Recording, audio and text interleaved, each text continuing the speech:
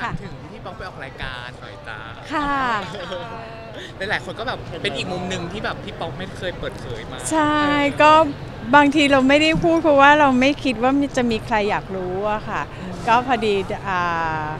นันเน็กถามมาก็เลยได้มีโอกาสได้ลองคุยแลกเปลี่ยนประสบการณ์กันอะจริง ๆ ตอนแรกที่ทีมงานติดต่อไปพี่ป๊อกคิดหนักไหมคะว่าแบบ ที่จริงตอนแรกที่น้าติดต่อมา ให้มาคุยเรื่องอื่นด้วยซ้ำคุยเรื่องแบบเอ๊ะเอ่อดูเหมือนเป็นคนดีแต่จริงๆมีความนิสัยไม่ดีบ้างอะไรหรือเปล่ามีเรื่องอยากจะเล่าให้ฟังไหมอะไรเราก็บอกว่านะถ้าเป็นเป็นเรื่องที่ไม่เคยเล่ามาก่อนอะก็แปลว่าไม่ได้อยากเล่าหรือเปล่าอ่าแต่ก็เลยมานั่งจนกระทั่งวันที่ไปอะก็คือเหมือนกับวันตอนที่ชวนน่ะก็คือเขาก็บอกว่านะบอกว่าเป็นคอนเทนต์ใหม่อยากให้ลองมาแชร์ริ่ง เออมาคุยอะไรเล่นไหมว่าอะถ้าเผื่อนะเป็นแนวทดลองก็ก็น่าสนุกดีอะสนิทกันอยู่แล้วก็เลยไปคุย อยู่ก็นั่งคุยแล้วว่าเออเรื่องมันเรื่องมันที่บอกว่า ตอนแรกตอนแรกก็คือเรื่องที่จะที่อยากจะคุยอะมันไม่ใช่ก็เลยแบบมานั่งนึกดูอยู่นะก็บอกว่าอะเอางี้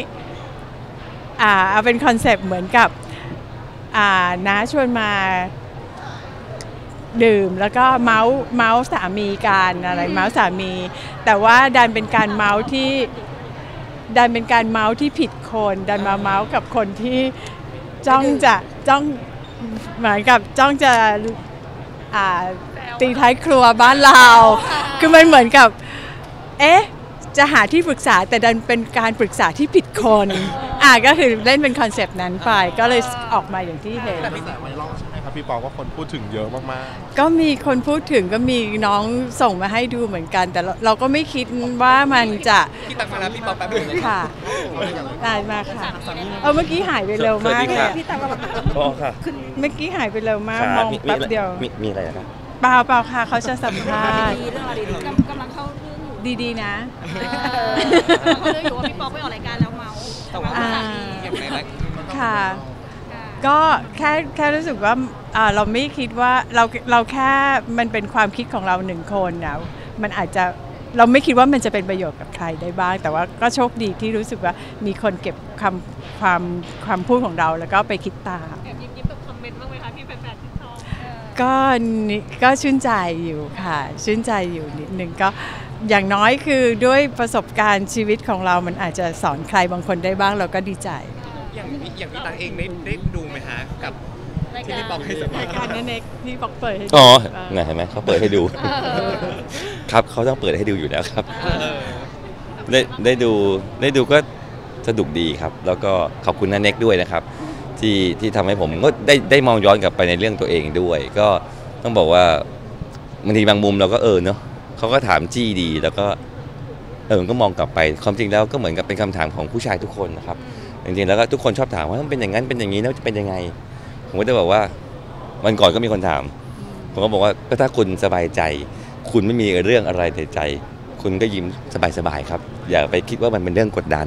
อย่าไปคิดว่าภรรยาคุณกดดัน อย่าไปคิดว่าภรรยาคุณโหดร้าย หรือว่าเออเจอที่ชมเนาะโอเคเออเอาบางคนพูดอย่างเงี้ยเขาบอกว่าโอ๊ยว่าทะว่าทะสินของภรรยามันช่าง นะเชื่อดเฉือนอะไรเงี้ยจริงๆอะผมว่าอ้าวถ้าเราเป็นสามีเราเป็นผู้ชายที่หนักแน่นพอ ผมว่าอันนี้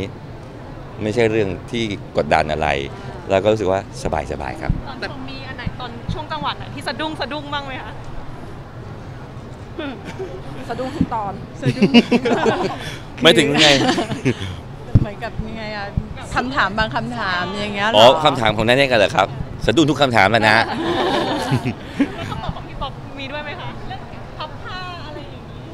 อ๋อ อันนั้นไม่สะดุ้งครับ เพราะว่าก็มันเป็นความจริง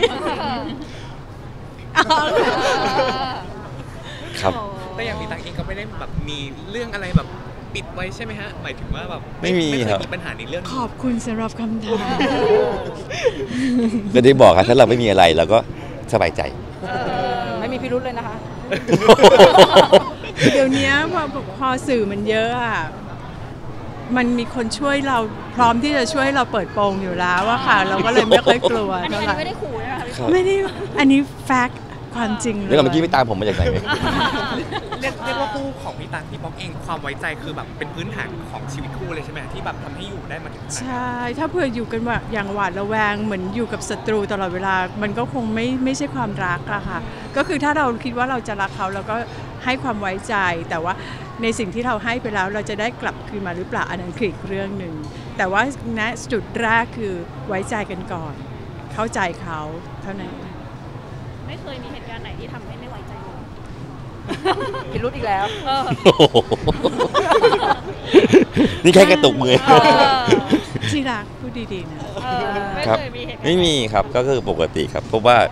คือจริงๆเราเริ่มต้นก็เป็นแบบนั้น เราเริ่มต้นยังไงก็เป็นแบบนั้น เพราะนั้นก็คือเป็นเรื่องปกติที่เราเคยเป็นยังไงก็เป็นอย่างนั้น ก็ไว้ใจกันยังไงก็ไว้ใจอย่างนั้น รักยังไงก็รักอย่างนั้นกับพี่ป๊อกเป็นแบบตัวอย่างเหมือนกันในการใช้ชีวิตคู่ก็ขอบคุณมากที่ที่เห็นว่าเราพอที่จะเป็นตัวอย่างที่ดีได้อะค่ะแล้วแต่ว่าสิ่งที่เรา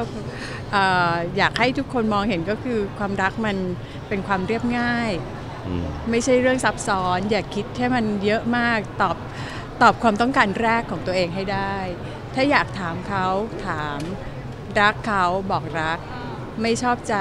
ปรับความเข้าใจกันเท่านั้นเองในระยะยาวเนี่ยนอกจากความไว้ใจ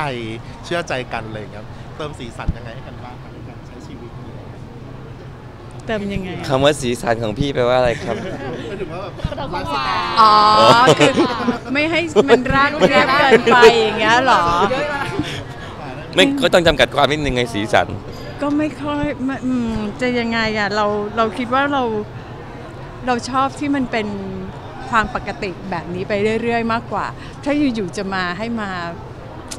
ฉูดฉาดขึ้นมา มันก็อาจจะเป็นเรื่องที่เหมือนกับอ่าอันสเกียวอะใช่ไหมคะ คือเรารู้สึกว่าเราพอใจกับการที่ให้มันเป็นจังหวะนี้ไปเรื่อยๆอืมเนาะไม่มีอะไรแล้วทุกคนก็หันมาแล้วแบบมีคำถามเรียกว่าติดตามข่าวบันเทิงได้ที่นายตะเทนทุกช่องทาง กดไลค์กดแชร์ด้วยเนาะ